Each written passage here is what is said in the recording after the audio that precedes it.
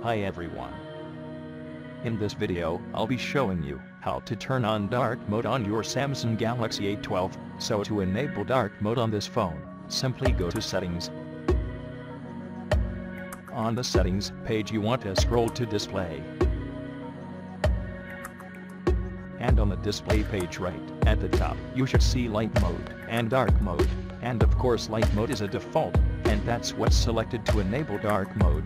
Simply tap on dark, and it will automatically put your phone in dark mode. And that's it you are now in dark mode, but also you have dark mode settings, so if you tap on that,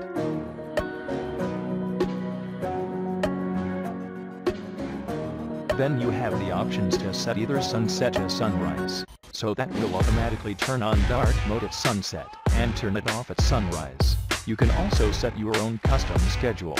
So you can set the exact time you want that mode to be enabled, and when you want it to end. And that's basically how to enable dark mode on the Samsung Galaxy A12. Now as a bonus you also have a notification panel shortcut to enable dark mode. It's basically a pull down from the top of your screen, go to the shortcut icons, and you should find the dark mode button there to turn on and off.